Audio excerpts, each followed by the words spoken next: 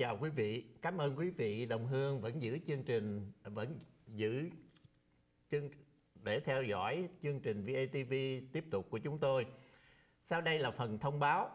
Trường Mẫu giáo Âu Cơ mãn khóa, trường Mẫu giáo Âu Cơ sẽ tổ chức lễ mãn khóa cho các học sinh sẵn sàng nhập trường dòng chính vào ngày thứ sáu 11 tháng 7 năm 2014 vào lúc 5 giờ chiều tại hội trường Diên Hồng thuộc trung tâm Việt E số 42 Chao Street, khu phố Dorchester, thành phố Boston.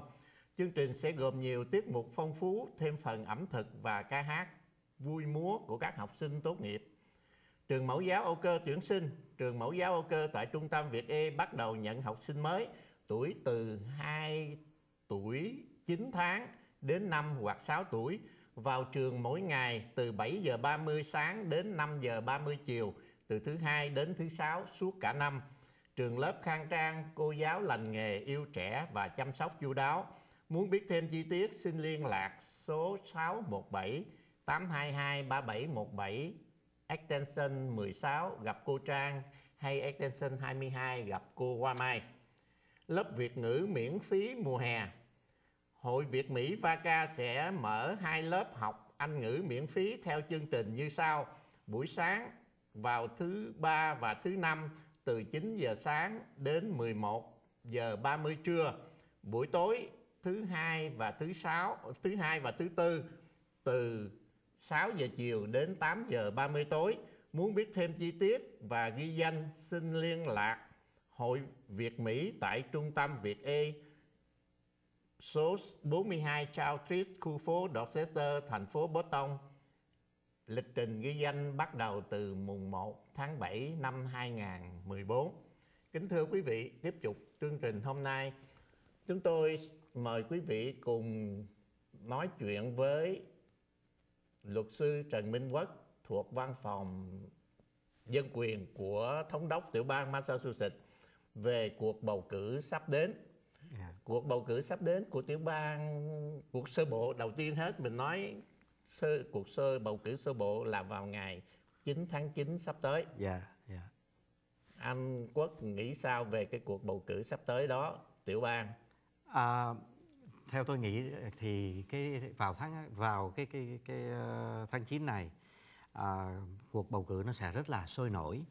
À, thứ nhất là bởi vì à, ông thống đốc tại vị là ông Deval Patrick sẽ như quý vị đã biết là sẽ không còn ra tranh cử nữa. À, cho nên cái ghế đó làm cái ghế trống.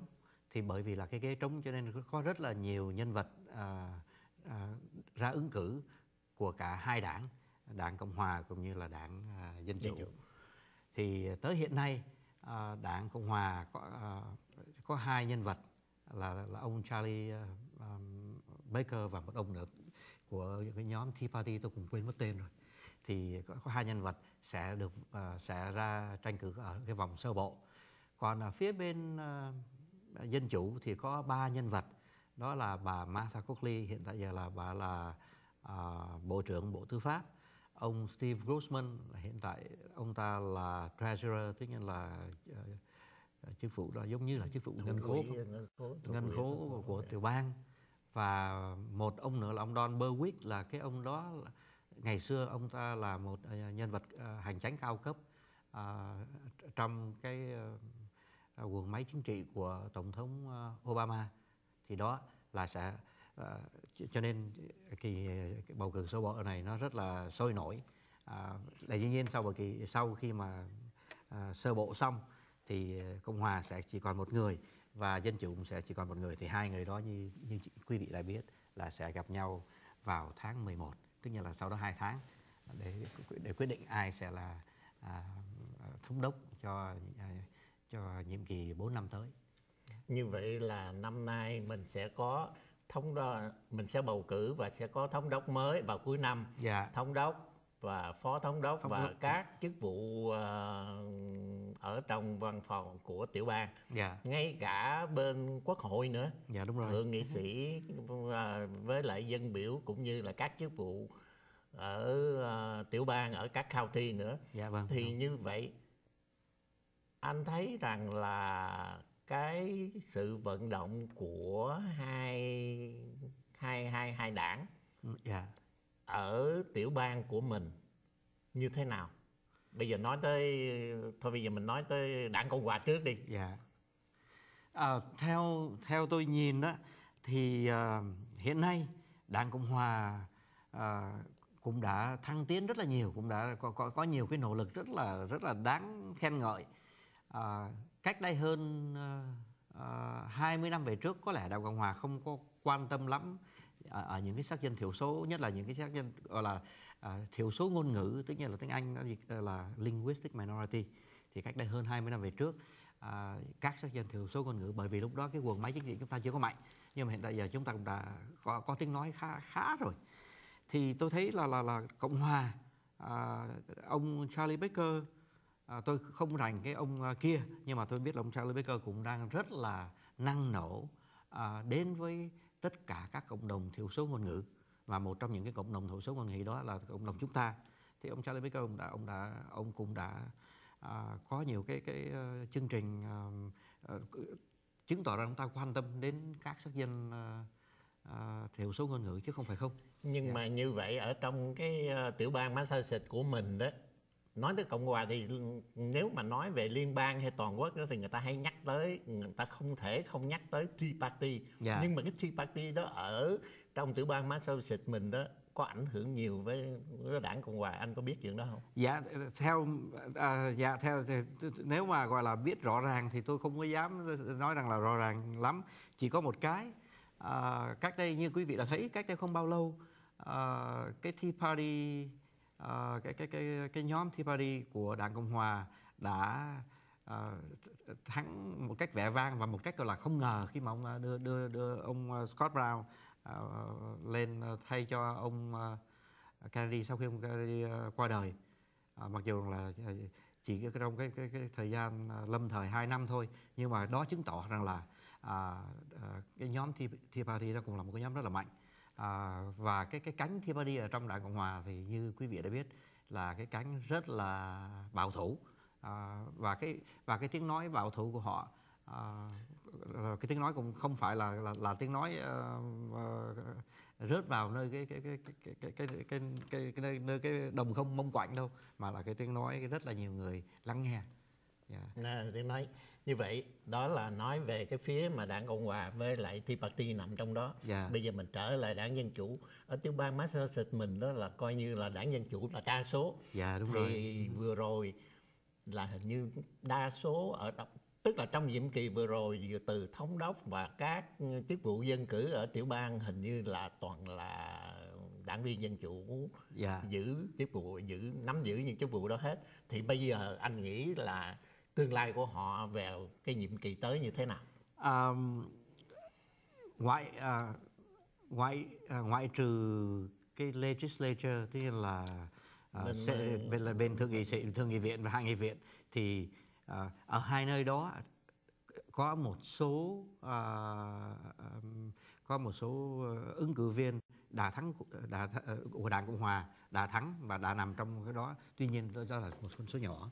Còn tất cả các chức vụ mà nó mà tiếng anh nó, nó gọi là uh, constitutional uh, officers có nghĩa là theo cái cái cái là những cái chức vụ mà nó được ấn định trong cái uh, uh, hiến pháp của tiểu bang chẳng hạn như là chức vụ uh, thống đốc chức vụ treasurer là uh, ngân khố tiểu bang chức vụ uh, tư pháp uh, bộ trưởng bộ tư pháp uh, attorney general's office hay là chức vụ auditor là cái chức vụ uh, uh, uh, kiểm toán hay là kiểm toán đúng rồi đó. Đại khái là gọi là chức vụ kiểm toán uh, kiểm kiểm toán tổng quát của của của tiểu bang.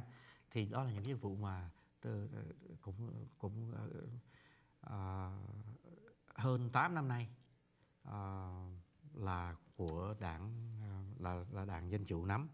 Như quý vị nhớ là hơn 8 năm về trước là uh, là ông Mitt Romney là người đã, của đảng cộng hòa coi cái uh, là thống đốc. Tuy nhiên những cái chức vụ còn lại trong cái cái cái cái cái, cái trong cái bộ hiến pháp đó, đó thì đều là của người dân chủ của của đảng dân chủ nắm. À, cái kỳ này khó mà tôi đoán trước.